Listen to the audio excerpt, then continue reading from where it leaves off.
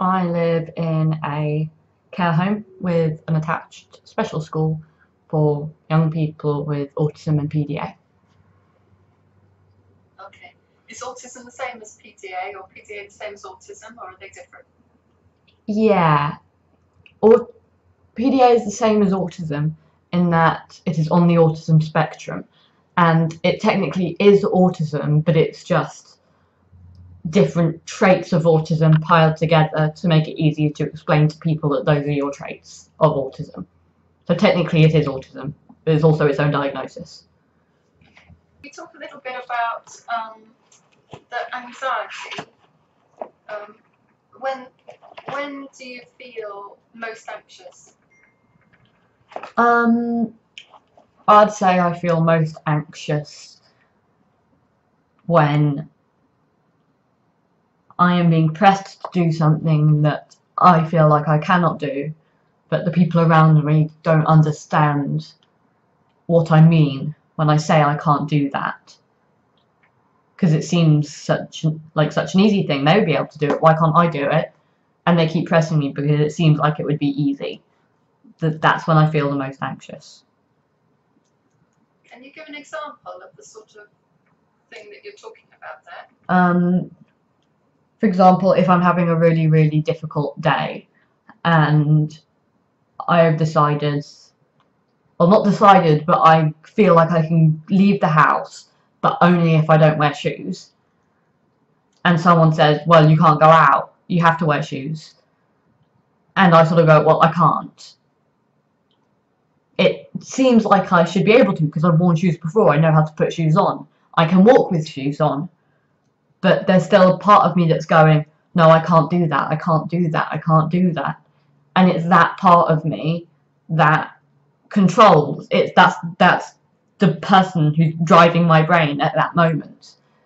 And that's so difficult to communicate because I know it's stupid. I know that I should be able to put my shoes on, but at the same time, I can't. And I don't know why I can't, I just can't and that's really difficult to deal with because it's difficult to explain to the people around you. It's difficult to come to terms with yourself because how do you know think something on one level but still be unable to comprehend it on another? It's such a juxtaposition that it's really hard. And that's why it's difficult for people to understand PDA because it feels like it should be something easy, but it's not. That must be very frustrating. Oh yeah, oh yeah. It's the most it's mo the most frustrating thing in the entire universe. The most frustrating thing is to have the functional capacity to understand what's happening and to understand that I should be able to do all of these things, but the functioning ability isn't there. I don't so I know I should be able to get out of bed and eat properly and drink properly. I know I should be able to make my own food. I know I should be able to wash every day and change my clothes every day. I know these things. I know how to do them. I can do them sometimes, but most of the time I can't. I just can't. And without, and it's so difficult to be able to voice why. It's the most frustrating thing.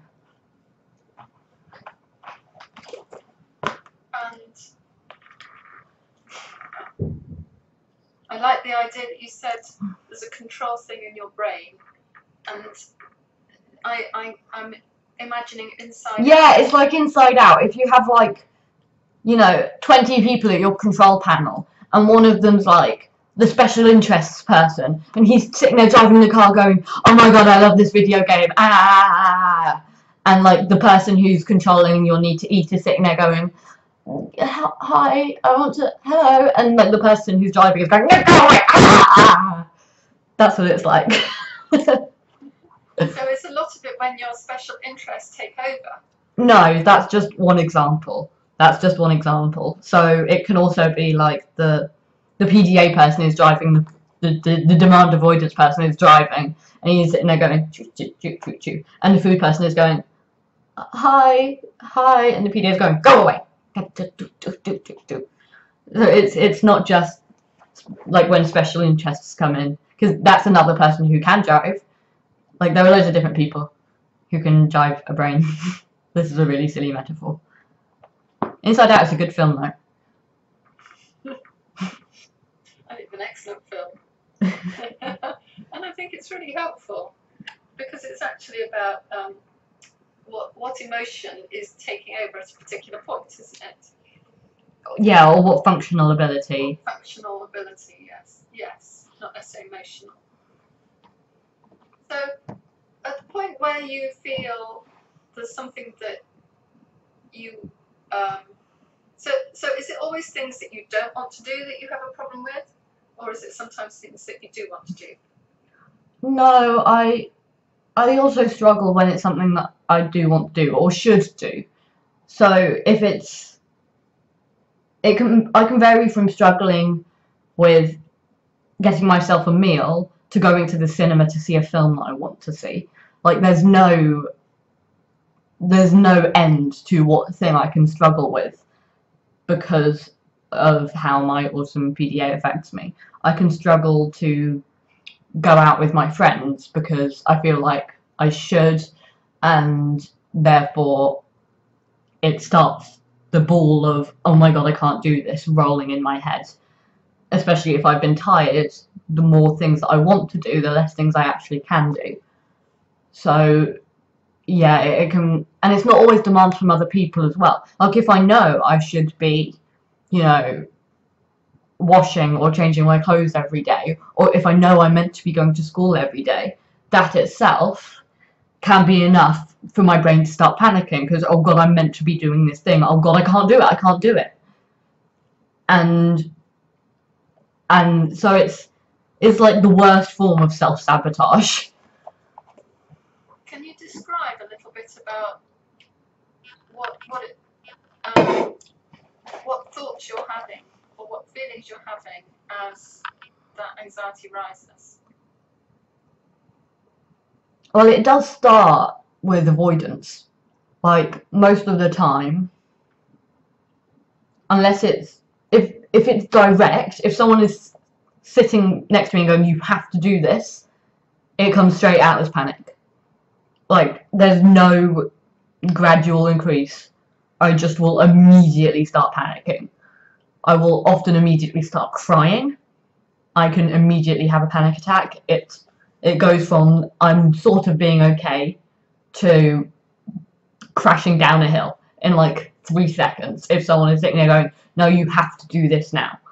But if it's if it's something that I'm meant to be doing, if it's I'm lying in bed and I'm thinking, God, okay, I have to get up and go to school. Well, before I do that, I have to check my iPad. I have to see what's happened today. I need to check the news. And, you know, I really need to do this level because, you know, I do one every day and it counts how many days I've been doing. So I have to do that today as well. So I have to do that now. And, you know, I need to check. I need to check my social media because, you know, one of my friends might have got in contact with me. So I need to do that. And, um, oh, what has Donald Trump said today? He's always said something new. Let's just see what he said. And, you know, it starts very much as avoidance, but not. I'm not thinking, oh, I want to avoid this. It's just natural. It's just okay. That's something that I need to do. I don't want to think about it. What else can I think about? So, but when I can, when it gets to the point where I can't really stop avoiding it anymore, like I can't, like there's nothing else to look at, and I need to go out of bed now. Then it gets to anxiety or even depression. Like it can you know, it can I can go from, whew, okay, I got this to, oh my god, I can't function. I'll never be able to function. I'm a worthless human human being. I might as well just stay in bed forever. You know, it can. And that very much varies from day to day, which is why it's so frustrating because some days I wake up and I can get straight out of bed and go to school. Then other days I wake up and it's just not going to happen. And and you know the more it doesn't happen the harder it gets. Because then you're sort of sitting there going oh i've missed three days of school now. I need to go in today which then makes it harder to go in because your brain's going oh it's a big thing. You have to go in now. Oh god. So the more you don't go in, the harder it gets. Which is why so many young people with PDA struggle going into school because, you know, lots of kids hate going into school. Lots of kids will try and miss a day of school, but with someone with PDA, they miss one day and the next day gets harder.